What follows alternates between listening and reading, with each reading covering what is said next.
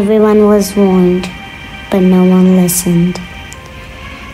The ice caps melted, the ocean patterns changed, there was a rise in temperature. They called it the extreme weather, but they didn't know what extreme was.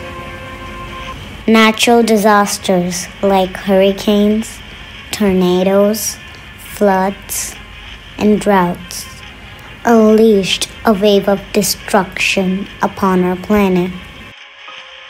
My name is Raina Sharma.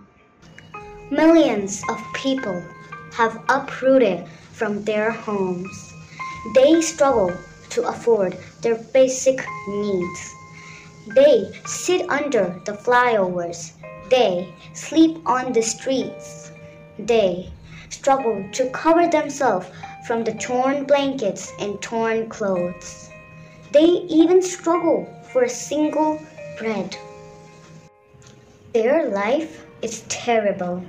It's heartbreaking to know all this, but you can change. We can change the way we treat our community. We are the part of this community, so it's our responsibility to help them. When two hands join together, make a big difference. Imagine what millions can do.